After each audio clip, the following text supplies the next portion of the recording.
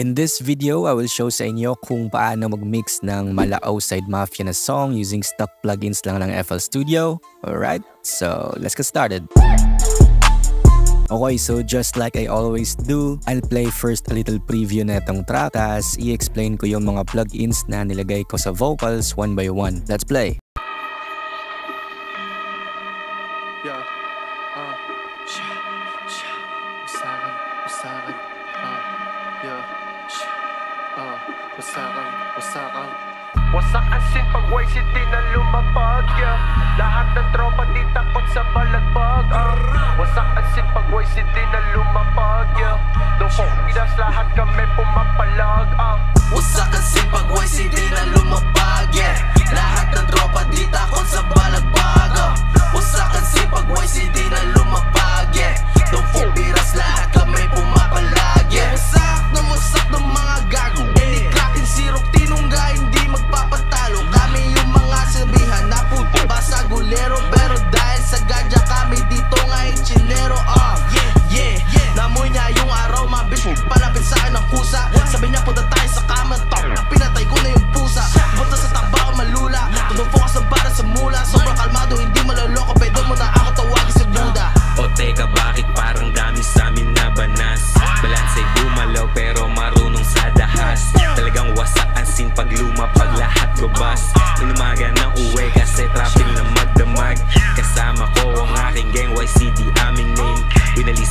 ang mga kalat malinis tong pumiplay Di marunong umatras lahat kami ay laging game.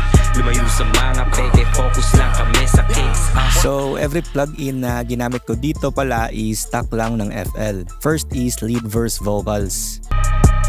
Yeah, wasak na wasak ng mga gago. Any cracking sirok, tinungga, hindi Ka- I added feature para itong auto-tune ng Antares. Nakaset ito sa key ng beat which is D sharp or E flat major. Next is parametric EQ2, low cut up to 110 Hz, dipping down sa may 250 Hz, boosting konti sa may 3K and also sa 8K for the extra top end. Yeah, wasak na wasak ng mga gago Any cracking sirok, tinungga, hindi magpapatalo Next up is Fruity Compressor. Ito yung mga settings ko. Negative 30 sa threshold, 8.1 ratio, gain is boosted, fast attack, fast release, and naka-vintage mode. Yeah, wasak na wasak ng mga gago So, pwede mo ito i-copy pero just change this to what type of voice na meron ka. And then, I added Fruity Limiter. Wala akong binago settings. It's just here na parang obs. And then, next is everyone's favorite plugin, the Sound Goodizer. Decent amount lang sa mode ng C. Yeah, wasak na wasak ng mga gago Any cracking sirok, tinungga,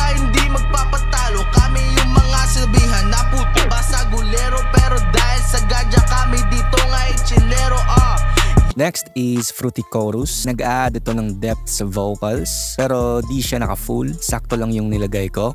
Yeah, wasak na wasak ng mga gago Any cracking sirok, tinungga, hindi magpapatalo Kami yung mga sabihan na puto basa gulero Next naman is Fruity Fast Distortion. Nag-add naman ito ng harmonic saturation sa vocals. And also, just a little bit lang ang nilagay ko just to add extra warmth sa vocals. Yeah, wasak na wasak ng mga gago Any cracking sirok, tinungga, hindi magpapatalo Kami yung mga sabihan na puto basa gulero Pero dahil sa gadya kami dito nga chinero ah Next is Maximus. Basically, I use this for de-essing. Pwede mo rin itong gamitin pang boost sa mga specific frequencies. Yeah, wasak na wasak ng mga gago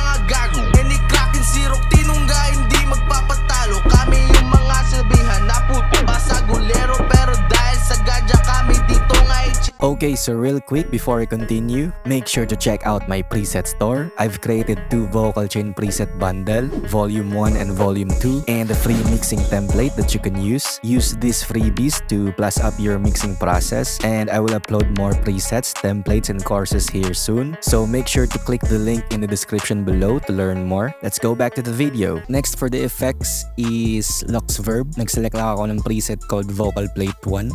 Yeah, wasak na wasak ng mga gago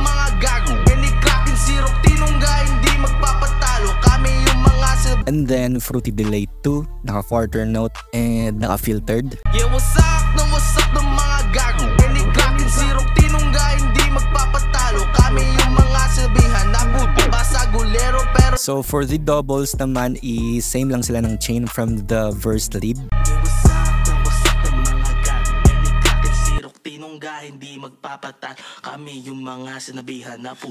I just adjusted the EQ dito As you can see, nag-low cut ako up to 178 Hz and then I replaced the fruity chorus into steer shaper para maging wide yung sound ng doubles.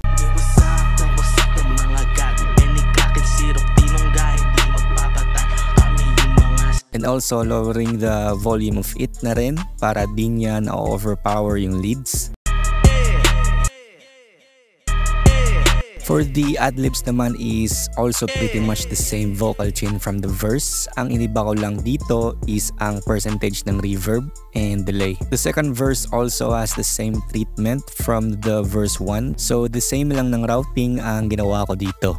O teka bakit parang dami sa amin na banas Balansay bumalaw pero marunong sa dahas Talagang wasak ang sin Merong adlibs dito na naka-filtered. I just adjusted the EQ. Nag-select ako ng old telephone preset. The second adlibs is the same chain doon sa verse 1 adlibs. Also for the hook,